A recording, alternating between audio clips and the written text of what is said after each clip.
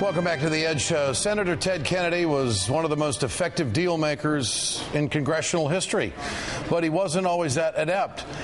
One of his greatest legislative regrets was refusing to cut a deal on health care with President Nixon back in 1971. At the time, Kennedy didn't want to compromise on a single payer system. Steven Pearlstein of the Washington Post wrote a piece on this today, and he joins us now. Steven, thanks for your time here. Interesting piece. What, uh, where did Kennedy feel like he went wrong at that particular moment in his legislative career?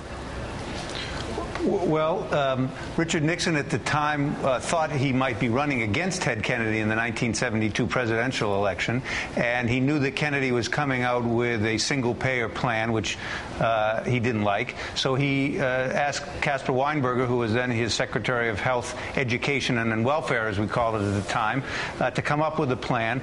And the funny thing is that the plan they came up with is remarkably similar to the one that Democrats are now talking about uh, in Washington. It involved requiring everyone to have uh, insurance, and it require and it would have the government help to subsidize that for those who uh, couldn't afford it.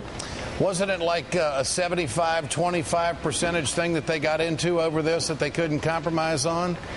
Well, I don't really think it got down in the end of the day. I mean, they did back and forth. By the way, uh, Nixon proposed it. It went nowhere. The election was held. We know what happened there. Nixon won. It was after that that the deal making really went on. There were secret talks between Kennedy and the White House, uh, and they got fairly far. And he brought in uh, Kennedy brought in Wilbur Mills, who was then the chairman of the House Ways and Means Committee. He was involved in it, and Mills actually got a, a compromise bill through the House. Then Mills himself got into problems with the a scandal, and he sort of fell by the way. In the end of the day, though, it was Kennedy who pulled the plug, uh, in large part because the labor unions, looking at the pro political problems that Richard Nixon was having, convinced him with Watergate, convinced him that he should hold out for single payer, that Nixon would lose, the Republicans would lose, there'd be a Democratic president, a Democratic Congress, and they could finally get that single payer.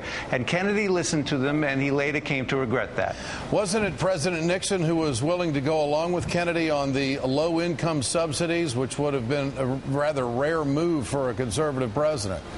It, it was, and, and he, uh, although, you know, Richard Nixon sometimes gets a bad rap on that. Richard Nixon gave us the Environmental Protection Agency. He gave us a lot of domestic programs, which we now value quite a bit.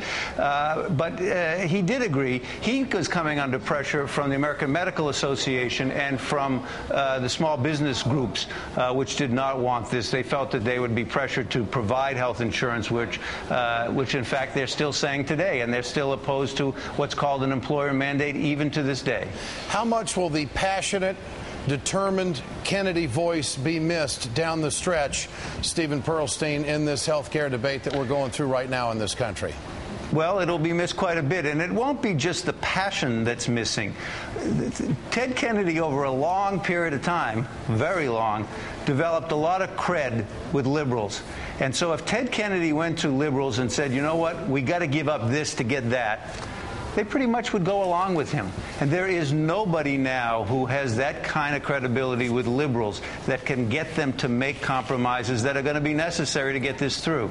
That That's really, a problem. Uh, that, Steven, that really is the next story for the Democrats. Who is going to play that key role down the stretch that liberals will trust when the deal's got to be cut? I don't know who it will be, Ed, because there's no one that's obvious right now. Steven Pearlstein, thanks so much for joining us tonight.